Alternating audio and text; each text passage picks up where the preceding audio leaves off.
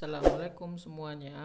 Pada kesempatan ini kita kembali bertemu dalam mata kuliah ilmu tafsir. Pada kesempatan ini kita akan mendiskusikan tentang kisah di dalam Al-Qur'an. Secara bahasa, kata kisah berasal dari bahasa Arab yaitu kisah. Dalam bentuk jamaknya adalah al-qasas yang memiliki makna menceritakan atau mengikuti jejak. Pengertian ini mengingat bahwa ketika kita sedang bercerita, seolah kita sedang mengikuti alur dan jejak cerita yang diceritakan. Sedangkan dalam Kamus Bahasa Indonesia, kisah diartikan sebagai kejadian, cerita, atau riwayat. Adapun secara istilah, ada beberapa definisi yang dapat dikemukakan para ahli. Antara lain, menurut Kamil Hasan, dia mengatakan bahwa kisah merupakan media untuk mengungkap tentang sebuah kehidupan yang mencakup tentang satu atau beberapa peristiwa yang disusun secara kronologis di mana dalam kisah tersebut mesti ada permulaan dan akhirnya. Ahmad Muhammad Khalaf juga merumuskan kisah dengan pengertian bahwa suatu kisah itu bisa benar-benar terjadi, bisa juga tidak benar-benar terjadi, termasuk sebagian kisah yang ada di dalam Quran namun, bagi mayoritas ulama, definisi ini tidak bisa ditetapkan untuk kisah Al-Quran, sebab hal itu membawa implikasi bahwa di dalam Al-Quran ada kisah-kisah yang tidak benar-benar terjadi atau khayal. Jika kisah dalam Al-Quran tidak benar-benar terjadi, berarti Al-Quran bohong. Apakah etis menisbatkan kebohongan kepada Al-Quran? Demikian kurang lebih argumentasi para ulama yang menolak teori Ahmad Muhammad Khalaf ini. Padahal Al-Quran sendiri sudah menyatakan bahwa kami menceritakan kisah kepadamu Muhammad dengan sebenarnya.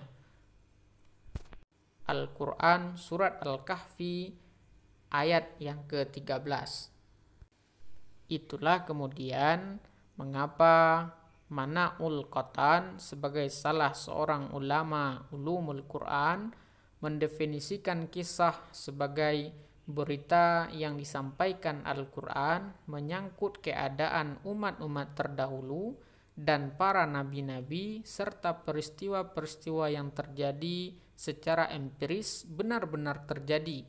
Dengan tegas ia mendefinisikan kisah Al-Quran sebagai cerita yang diinformasikan Al-Quran mengenai umat-umat terdahulu, peristiwa-peristiwa kenabian, dan peristiwa-peristiwa lain yang pernah terjadi di masa lampau. Mana'ul Qatan juga mengatakan bahwa Al-Quran banyak memuat peristiwa-peristiwa masa lalu, sejarah umat-umat terdahulu, negeri dan perkampungan mereka, yang paling menarik adalah bahwa cara Al-Quran menampilkan kisah setiap kaum dengan metode yang seolah pembaca menjadi pelaku sendiri yang menyaksikan peristiwa tersebut. Memang dalam perspektif pendidikan sah-sah saja seseorang menanamkan nilai-nilai pendidikan dengan menggunakan kisah fiktif dan imajinatif yang penting pesan-pesan moral itu bisa tersampaikan. Namun, untuk kisah-kisah Al-Quran secara normatif teologis tidak ada yang fiktif dan imajinatif. Al-Quran justru mampu memadukan tiga aspek sekaligus. Pertama, bahwa cerita itu benar-benar terjadi, bukan fiktif. Kedua, cara menuturkan kisah itu dengan indah dan mengesankan. Meski kadang ada kisah yang diulang-ulang, tetapi cara pengulangannya tidak monoton, melainkan variatif, kreatif, sesuai dengan pesan moral yang hendak dituju oleh Al-Quran. Ketiga, bahwa kisah-kisah itu mengandung pesan-pesan moral bagi pendidikan manusia. Nah, sebagai seorang mukmin, tentu kita mesti meyakini Al-Quran sebagai kitab suci semua yang disampaikan oleh Quran, yang diberitakan oleh Al-Quran adalah benar atau hak, bukan khayalan atau fiktif. Memang benar bahwa ada kisah fiktif yang disampaikan secara indah, tetapi apakah untuk menyampaikan kisah dengan cara yang indah, Al-Quran harus dengan cara berbohong atau dengan kisah fiktif? Apakah Tuhan tidak bisa membuat cerita indah? yang benar-benar nyata dan empiris. Nah, dalam hal ini, kisah Al-Quran justru mengajarkan kebenaran dan sekaligus keindahan. Ini mengingat bahwa Al-Quran adalah kitab hidayah yang akan menjadi panduan buat umat manusia. Sebagai contoh, kisah tentang kaum Ad dan kaum Samud dan hancurnya kota Iram dalam Quran surat Al-Fajr ayat ke-6 sampai ke-9. Ternyata kisah tersebut setelah diteliti sesuai dengan fakta historis pada tahun 1964 sampai 1969 dilakukan penggalian arkeologis di mana dari hasil penelitian dan analisis ditemukan informasi bahwa salah satu lempeng tentang adanya kota yang disebut Samutu, Ad, dan Iram.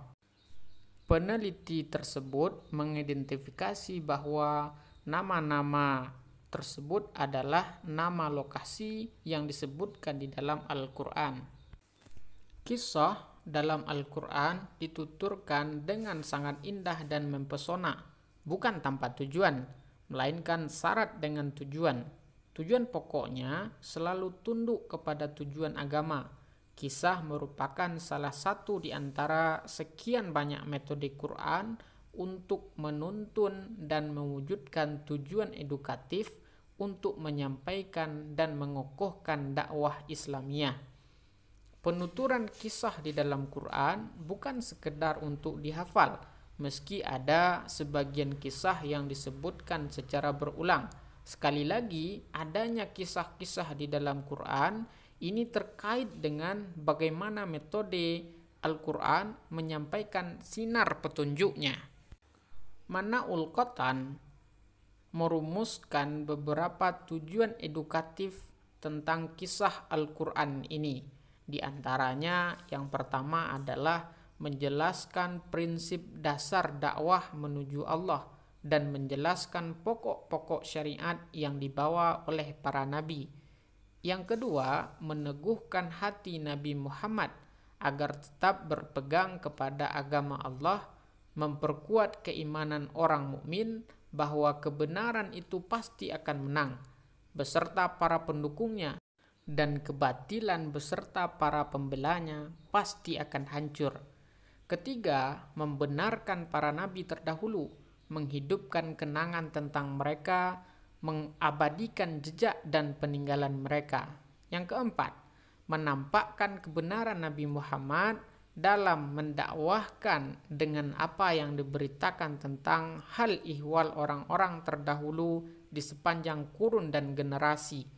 Kelima, menyibak kebohongan ahlul kitab dengan hujah yang membeberkan keterangan dan petunjuk yang mereka sembunyikan dan menantang mereka dengan isi kitab mereka sendiri sebelum kitab itu diubah dan diganti.